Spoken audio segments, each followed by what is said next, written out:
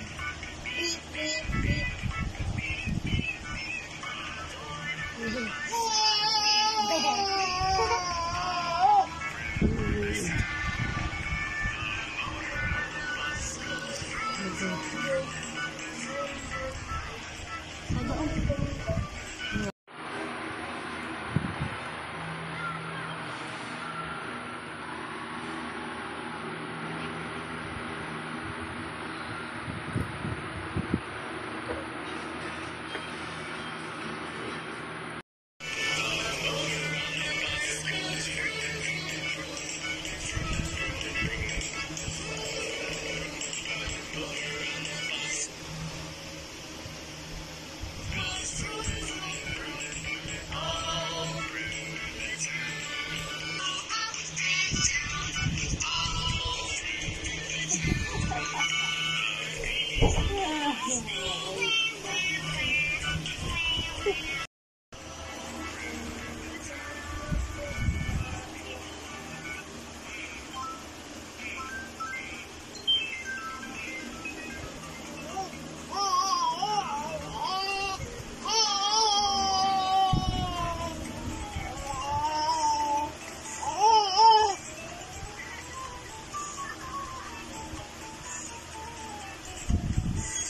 Konti lang, konti lang, ubuhusan natin yan. Oops, all-purpose cream. Dudurugin ko na siya gamit ang aking mahiwagang kamay.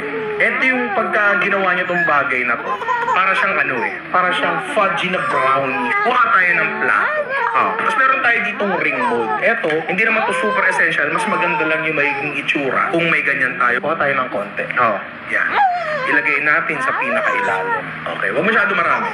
Pwede nyo actually gawin to sa kahit